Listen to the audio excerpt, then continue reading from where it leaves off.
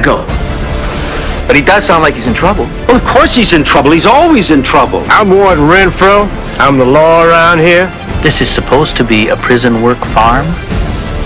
The money is in one of those shafts. Mine's been condemned a long time, makes to going dangerous. You got yourself arrested on purpose. You conned me into coming out here to help you find some stolen money and then help you break out of here? Exactly. But this is what happens when a prisoner forms a hostile and disrespectful attitude. That map of theirs must have showed them the way to B.B. Bartell's money. They're using us as slave labor to dig in the mine for that money. Can you believe it? No, Jack, I can't. We gotta get out of here. The man has no forehead! What happened to Charlie? Your Uncle Charlie died real fast.